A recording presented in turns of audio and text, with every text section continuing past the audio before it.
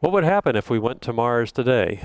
Well, that'd be a little bit of a surprise because we should have left Earth six months ago and that's if you're using nuclear thermal propulsion capabilities, which do not yet exist today. Using chemical propulsion like we have in uh, rockets today, the trip to Mars would probably be on the order of eight or nine months. During that eight or nine month time, we would be weightless for the, the most of the transit time, and our bodies would be accommodating and adjusting to the weightless environment. There's a possibility we'd be using artificial gravity uh, on the trip, and if we did that, we might be rotating our spacecraft, or at least a large part of the spacecraft, so we would have spent the last six or eight or nine months actually rotating head over heels in an artificial gravity centrifuge several times each minute. Either way, our bodies will have adjusted to that environment, and when we land on Mars, we'll have to accommodate to the new stationary one-third of a G environment of the surface of Mars. We're going to be on Mars for 18 months, according to our design reference mission. NASA has put together a, a standardized uh, mission plan for going to Mars, not an official plan, but a, a straw man plan that allows all the different organizations, all the different engineers and scientists working on trips to Mars to work toward the same mission design. So we know how many months in transit, how many months on the planet, how many months coming back. Those 18 months on Mars will be the busiest time of our happy little crew of, of our lives. We'll be working as productively as we possibly can on the surface of Mars to justify the expense of the mission, and it will be a large expense spread across several space agencies around the world so that we are able to produce results that will allow future missions to fly. Results that are so interesting and so so uh, uh, valuable that future missions will be will be funded and sent to do subsequent missions to Mars. And then after the six after the uh, 18 months on the planet, there'll be a six-month transit coming back to Earth. So what would happen if we landed on Mars today? We would see outside of our window a view very much like this, uh, a red landscape with a substantial amount of relief to it and a lot of uh, prospects for, for exploration as we understand the planet. What we would not see is something that looks like this. This is a scene that astronauts see now after six months in transit in a spacecraft after they land on a planetary surface. The spacecraft is the International Space Station, and the planetary surface, of course, is the Earth.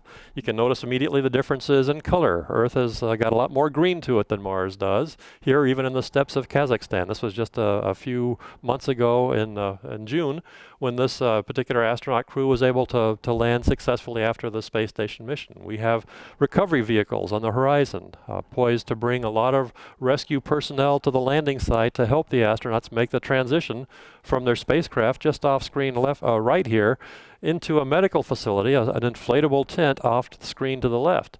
Uh, and in fact, uh, there's a lot of people here that you would not see on Mars. What you would see on Mars is not just a single astronaut, but probably five or six astronauts, this group of people right in the middle, each of them requiring the support of others, uh, just as that single astronaut does in this scene. And, and imagine the number of people for three astronauts in this landing.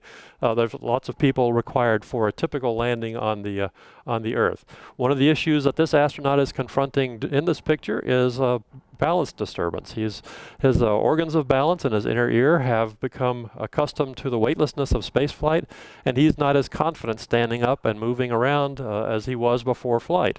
Uh, in that medical tent, after a brief checkup, we'll be asking him and his colleagues to do a very simple uh, stereotyped uh, kind of uh, set of uh, measurements that mimic the activities an astronaut might well be doing uh, immediately after arriving on the surface of Mars. Things as simple as unassisted, standing up from a seated position in a chair, standing up from, from flat on the floor as if they had accidentally stumbled and fallen on, on Mars uh, moving weights around, moving uh, large objects around a short distance, and even the, the heel to toe walk that is a very good indicator of integrated sensory motor function. Those, uh, those uh, uh, studies that are done right now on spacecraft, on Soyuz crews that land back on the Earth are providing information to future spacecraft designers, both for Mars landers and for Mars habitats, so they will know how to design their vehicles to provide the best of support and care for astronauts in this awkward phase of transition from weightlessness to Mars surface gravity. Uh, this particular image illustrates visual testing because we have uh, recently, over the last several years, identified changes in visual acuity as a problem astronauts have in long duration spaceflight. It comes on very gradually, very slowly. It was probably there even on shorter flights back in the shuttle era. And uh, extended time on the space station simply allows it to become more fully expressed. Uh, the, it may be related to a change in the cardiovascular system I mentioned earlier. Uh, the cardiovascular system is, of course, full of the body's fluids, especially the blood. Uh, the, the blood does shift in the upper in the body from the lower body into the upper body. Actually, what it does is equilibrate in the absence of gravity so that it is more evenly distributed up and down the body's long axis. But that has the net result of being an increase in, in body fluid in the upper part of the body. The upper part of the body is where the head is and the brain, and there's increased filling of the head and the brain, and perhaps an increased pressure in the upper part of the body. That pressure has to go somewhere, and it, it tries to find places to go, including along the optic nerve tracts. Uh, those are the tracks the, of the optic nerves from the brain to the eye. And if it does that, then perhaps it's pushing against the eyeball and flattening the eyeball somewhat, uh, changing the focal length of the eye and causing the astronauts to have visual disturbances such as uh, uh, uh decreasing uh, near vision capability. It's more or less like they've lost a lot of their near visual, near field visual accommodation ab ability and they're, they're more farsighted than they were before. Uh, this is uh, only a little bit of a nuisance on the space station, except when you're trying to do some close-up work, like reading your checklist, like say for a Soyuz landing. But we don't know if it's going to continue to, to get worse on longer missions beyond low Earth orbit, and especially longer missions in weightlessness. So we're studying the phenomena today on the space station, and we're also evaluating some of the mechanisms behind it. It may be that this fluid shift is actually the cause of this, and if that's the case, then it makes sense that reversing the fluid shift might alleviate the symptoms and, and cause the eye to re assume, resume its more normal spherical shape. So we're using a Russian device uh, to uh, redistribute the body's fluids as if the individual is standing up under Earth's normal gravity. The Russian device is called CHIBIS. It's a lower body negative pressure device, and it's just what it sounds like. It applies a slight negative pressure to the lower body, allowing the fluids to redistribute in a normal uh, manner uh, typical for life on Earth uh, under a gravity field. If measurements like this one and others indicate uh, a return to normal visual function and other measurements indicate a, a, change in the fluid distribution, that might be a hint as to the right path to proceed for changes, uh, uh, for the visual acuity changes that occur in long duration spaceflight. Another issue of long duration spaceflight may well be bouts of loneliness and isolation. Uh, the six astronauts, if there are six on the Mars mission, will be the only people on that mission. And when they land on Mars, they're going to be the only people on the entire planet of Mars. Uh, they will be uh, uh, they will be isolated as no humans have ever been isolated before, and they will also be as autonomous, as reliant on themselves as anybody has ever been. Yes, they will have infrastructure provided by the by the uh, the national space agencies that funded their travel there. There will be uh, vehicles waiting for them on Mars with uh, habitats and, and life support systems. And, and there will be everybody in mission control and multiple mission controls around the world, plus all of us back on Earth rooting for them. But when it comes to the final analysis, uh, we're all tens of minutes away by radio uh, because of the distance between the Earth and Mars, and so the astronauts will really be working by themselves uh, on their own, uh, supporting each other in this very uh, uh, stressful, highly autonomous setting they will be trained to work with each other to understand the problems, the psychological problems of, of isolation and confinement and long distance spaceflight.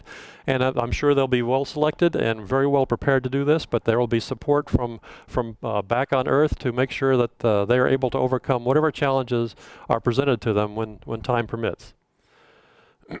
I've mentioned a few of the problems that have occurred in long duration spaceflight, the problems that we're studying on, on the one year ISS mission. We also have the effect of isolation and increased radiation in low Earth orbit on the immune system. We have changes in the, in the flora and uh, the bacteria that, that inhabit our gut, so that uh, allows us to metabolize nutrients uh, in a healthy manner.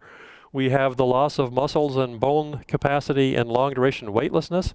We think we have a good solution to that that involves exercise, especially resistive exercise, zero gravity weightlifting. Uh, but the problem now seems to be, or the problem now is, one of repackaging the systems that are that seem to be working well on the space station for use in a much more compact uh, form on on a Mars vehicle. And we also have the issue of, of uh, human factors aspects of the space flight, such as uh, diminished fine motor skills. That is, how does one manipulate delicate instruments and controls and switches and things like that uh, if the, the sensory motor system and the, the body have adapted to the altered gravity environment of Mars and the altered gravity environment of, of space flight. So we're one half of the way through our one-year expedition uh, above Earth in the uh, ISS, and this is a chance for us to, to test our uh, test ourselves. Have we done our homework well? Have we learned the lessons from previous missions on the International Space Station, from previous uh, missions on the Russian space station Mir, and from a string of, of successful Salyut missions the Russians flew? Have we learned our lessons from the American Skylab space station back in the 1970s, and from all other human space flights? Uh, the, the, the chance uh, to test ourselves by doing a one-year mission is the chance to see whether the lessons we've learned so far and the, and the predictions we've made based on missions up until now are met by the, by the results from upcoming uh, uh days and months in the one-year ISS mission. Astronaut Scott Kelly and his Russian one-year mission counterpart Mikhail Kornienko and uh, their crewmates on the International Space Station right now and other astronauts, past and future, and in fact all of us that are working uh, on their programs uh, here on the Earth are, are trying to solve the problems of long duration spaceflight. Uh, and the uh, one-year mission is a chance for us to do exactly that.